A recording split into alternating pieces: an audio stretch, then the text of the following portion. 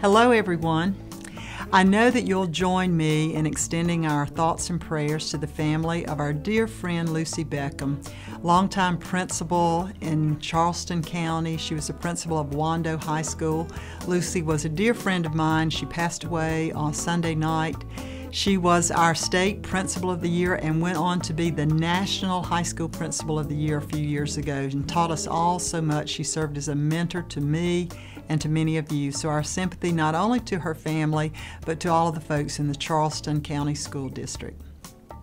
We have some good news and we're very excited that Congress passed the reauthorization of No Child Left Behind. The President signed the Every Student Succeed Act last week, and it means a lot now to us because it sends much more authority back to the state of South Carolina for us to make our own decisions about what we think is best for our teachers and our students. And one of the things I know you're interested in is what does this mean about teacher evaluation? Well, first of all, I will have to go to the State Board of Education to ask them to approve some new guidelines, and I plan to do that first of the year.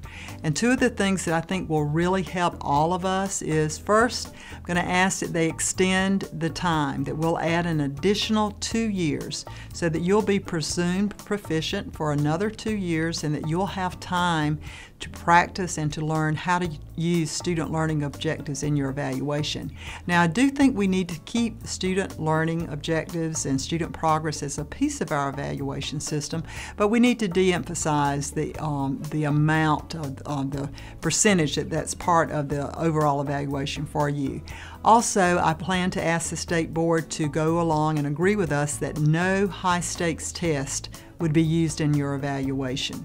We'll be having some focus groups the first of the year to get your input on other details, but I hope that this will help you relax and enjoy the holidays a little better to know that these changes will be coming in the teacher evaluation program. Now, we'll continue with the process as it is for right now, and these changes then would take effect next year. We've been celebrating here at the Department of Education because the holidays are upon us. We had some fun this week with our own uh, holiday party here. I hope that you're enjoying those in your own school and that you'll get some deserved rest with your family and friends to celebrate this very, very special season. So have a wonderful break. I look forward to seeing you back in 2016 so that we can all work together to make sure that every student in South Carolina is prepared for success after graduation.